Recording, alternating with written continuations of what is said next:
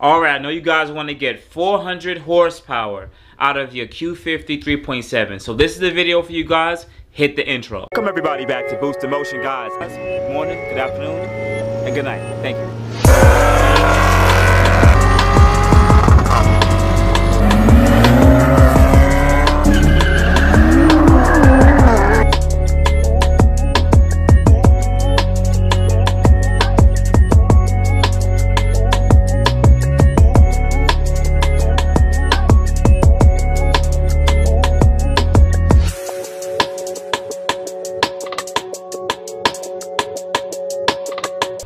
Welcome back, welcome back everybody. So let's talk today about how to get 400 horsepower out of your Q50 3.7. Now some of these modifications may apply for the 3.7 G37 and 370Z, but because most of my following is Q50 guys, and I used to own a 3.7 Q50 also, and you guys complain I give too much VR30 content, this video is for you guys. So once again, if you're watching, hit the like button. Let's go, let's continue, let's get into it. Now guys, as a warning, I want to say is this. There's a few prerequisites that you're to have to understand before I get say it at the end of the video.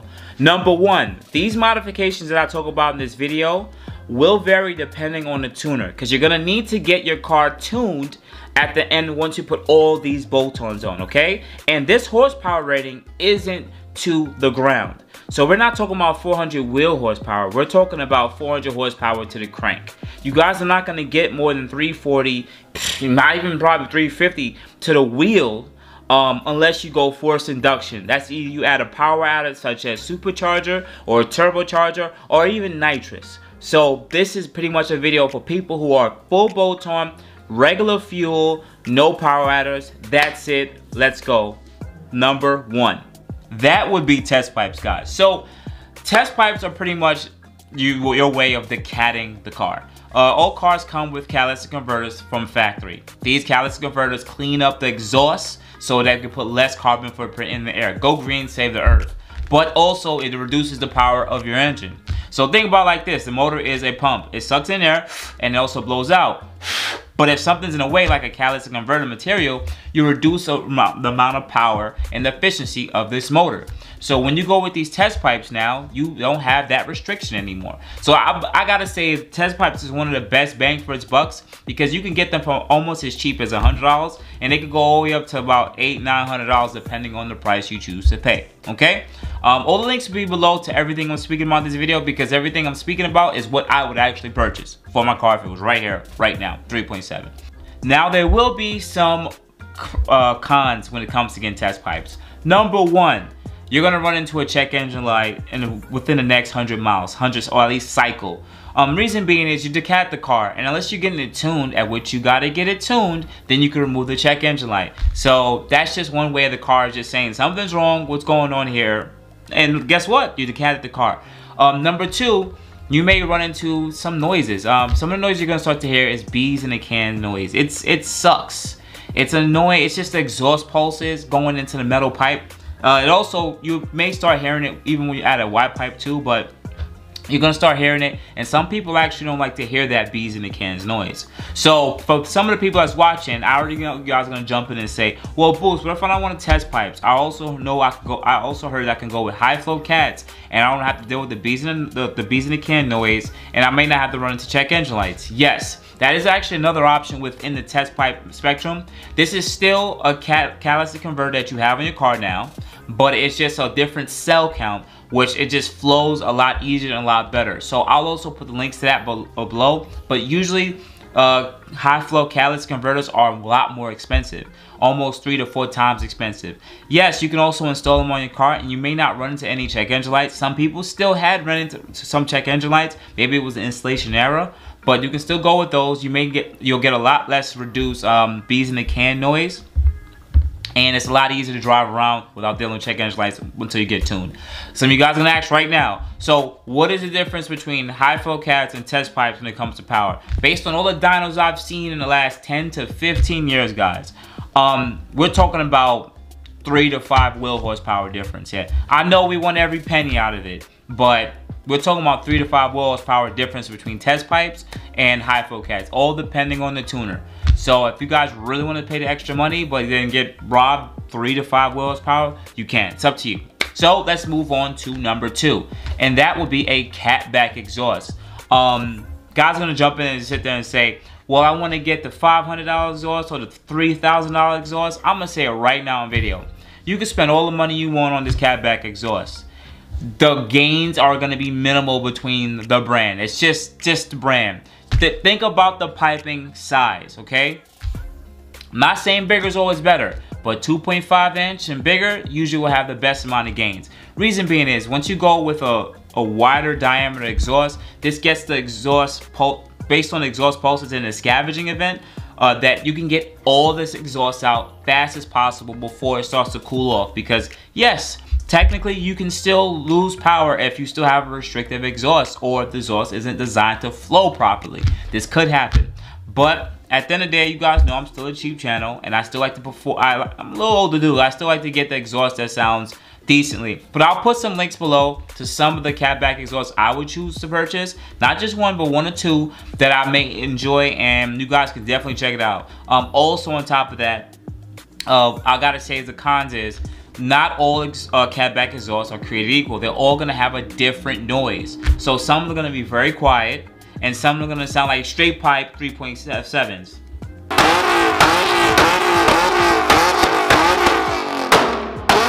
I don't think you guys like that. But uh, at the end of the day, definitely look into exhaust that you like and definitely check it out. So let's move on to number three. Now that would be intakes. Now I enjoy intakes. I I feel bad. Here's why I gotta say what I say because I've always recommended getting this brand Takeda intakes because it has an enclosed um, filter that's pretty much as a stock design and it goes off the OEM system. Reason being is guys, the 3.7s, you guys want the coolest amount of air to get into the into the motor. Reason being is any hot air reduces the power. All the other intakes on the market are all open air, air, uh, engine bay filters, which means that the fans turn on, and it cools off the engine and you guys are sucking in hot air. You're losing performance by doing so. I mean, when the car is moving at highway speed, it's a lot different.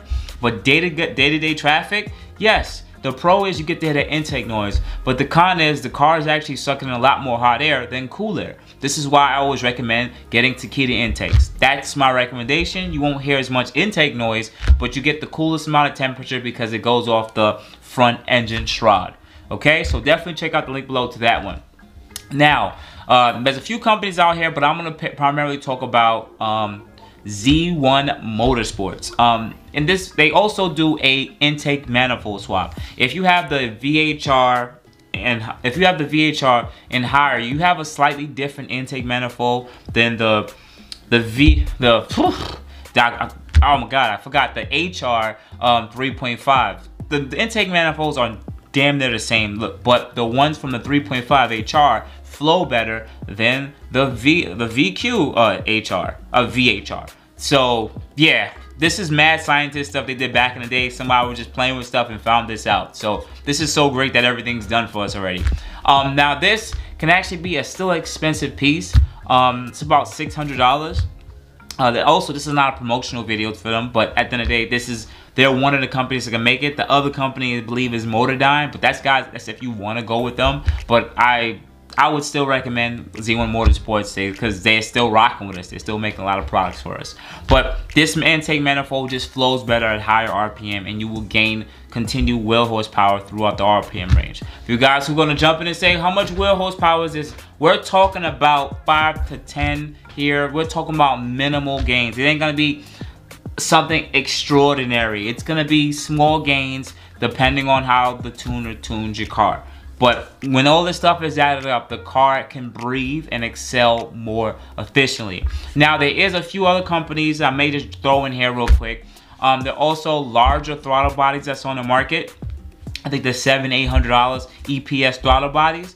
Uh, pretty much have a bigger bore, bigger opening. So usually we have a bigger bore, bigger opening. Guess what? More air could get sucked in. So if you guys want to purchase that, it's an expensive piece. You can definitely look into getting that also. So we already talked about intakes. We already talked about throttle bodies. We also talked about the intake manifold.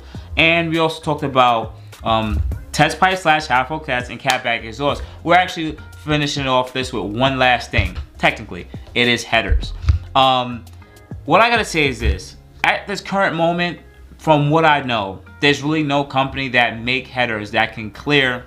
Now, I'm not saying that people haven't got this done on their um 3.7 Q50, but you may have to do a little bit of cutting, banging, just to get the headers to fit. Because yes, other headers actually fit from the G37 370Z.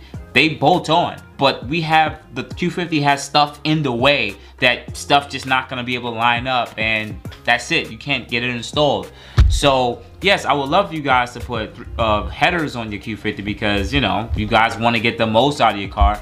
Um, I'm gonna still sit there and say this, I still believe that getting headers on this car, I don't see the cost benefit of trying to even get it because it just to me doesn't make any sense. Even though different exhaust manifolds from the Q50 3.7 to the G37 to the 370Z are actually, they actually flow a little differently comparing the sizes and everything, but I don't see the added expense and headache.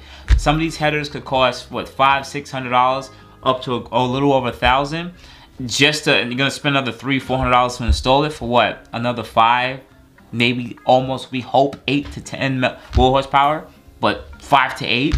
I don't see the sense in this. It's a really expensive uh, price to pay just to try to get headers, at least on the Q50, and to see if it even fits. But you guys can continue to do your due diligence and see if there's other Q50 owners who have these um who have headers on the market. But definitely I'll put links below to what I can find and uh, you guys just check it out. So otherwise than that, let's just put this all together in a nutshell.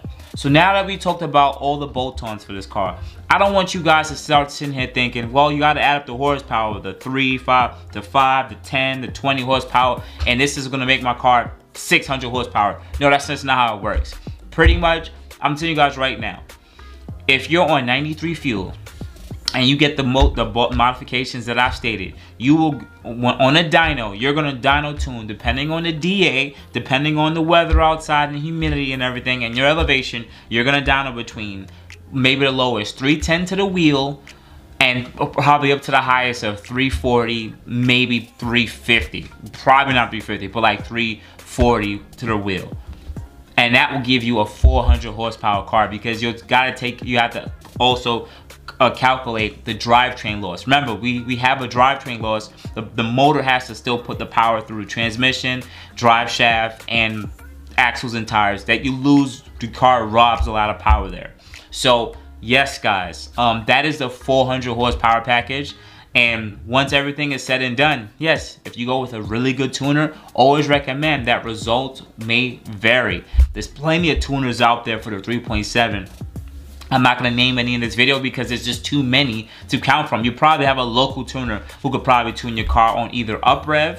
I believe you can tune on either UpRev or EcuTek. Those are the two uh, tuning platforms that I remember right now for the 3.7 Q50. So definitely check it out. If you enjoyed this video, guys, definitely hit the like button with the subscribe button and the bell notification.